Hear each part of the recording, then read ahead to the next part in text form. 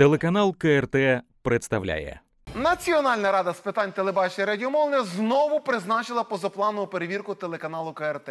Вже в п'яте. П'яте ефір нашого каналу зацікавив регулятора. Цього разу пильне око моніторингу Нацради вподобало програму Гаряча лінія, в якій обговорювався парад перемоги в Москві 24 червня. Претензії такі: програмі крупним планом показали верховного головнокомандуючого країни агресора Володимира Путіна та міністра оборони Шойгу. А ще цитую відп- відповідального секретаря Нацради Юрія Зіневича. У коментарях ведучих у промовах гостей не було наголошено, що на відео демонструються збройні формування держави-агресора. Натомість звучали схвальні висловлення та захоплення фактом проведення військового параду у Москві. Кінець цитати.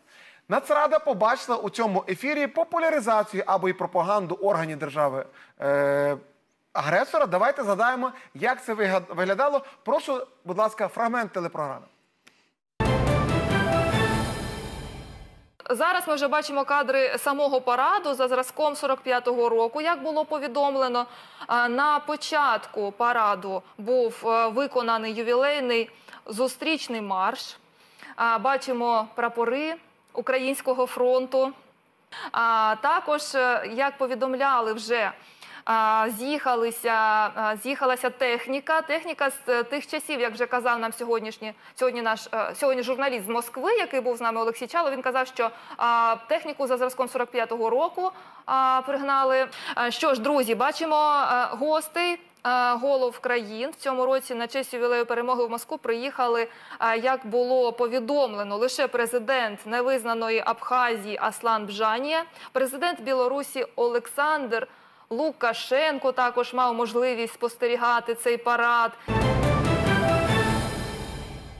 Тож, як бачимо, в ефірі нашого каналу навіть прикрили радянську символіку, яка заборонена законом про декомунізацію. А тепер увага! Знайдіть 10 відмінностей. Прошу наступне відео.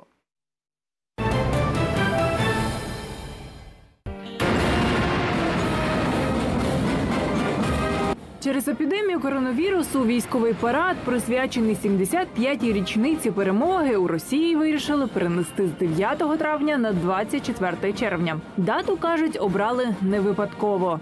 Ровно 75 лет назад, в ознаменование окончания Великой Отечественной войны, здесь, у стен Кремля, состоялся легендарный парад победителей. Каждый год мы смотрим, конечно, парад по телевизору дома, но в этом году решили с детьми приехать в центр города и увидеть все своими глазами.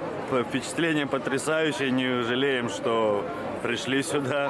К сожалению, ничего не было видно, только слышно, но эмоции позитивные. А щоб у глядачів залишились позитивні емоції, за даними російських змі, під час трансляції параду навіть домалювали спецефекти.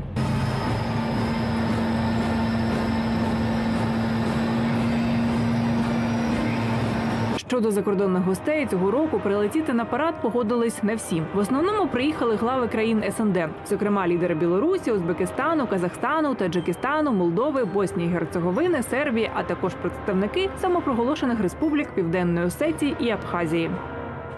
столицу Родины приехали.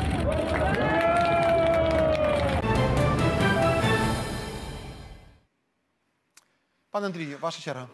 К сожалению, у нас э, Национальная Рада исповедует двойные стандарты. Ну, э, э, телеканалу Сывачевого Гетмана можно все.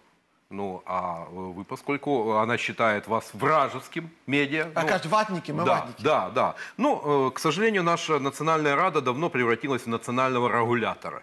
То есть вот этот местечковость, Да, когда, да, да. да, когда я вижу бывших, э, ну, э, по натуре комсомольских секретарей, только одевших вы- вышиванку и спрятавших свой, э, где-то дома лежит партийный билет или комсомольский билет, методы те же. Они просто перекрасились. А по своей сути это чистейший, глубочайшей воды дремучий совок в худшем понимании этого слова. Не тот э, совок, э, э, Ну, там социальные гарантии, да, медичные, да. да, А да. вот худшее, дремучее, вот э, то, что требовалось вы- каленым железом вытравить. К сожалению, оно у нас осталось. Другой момент. Э, Никто э, проще э, приходить э, устраивать травлю э, КРТ, нежели ответить на вопрос, почему за 6 лет, когда вы э, э, на каждом углу кричали о войне, Сывачевый Гетман открыл 90 магазинов Рошен, а Путин модернизировал треть своей армии. Вот ответьте на этот вопрос. Или показывать вот эти э, гаубицы Богдана, которые э, и- э, еле-еле смастерили, но забыли зарядное э, автомат заряжания к ним при- примастырить. Или миномет э, «Молот», который, взрыв, по-моему, убил э, на- наших бойцов больше, чем врагу. Де, здається, 12 людей дійсно загинуло. Е, Пані Світлана, ваша думка е, стосовно цих подвійних стандартів? Отак, мабуть, треба вже всім каналам показувати Путіна. Ну, мабуть, всім, окрім прямого.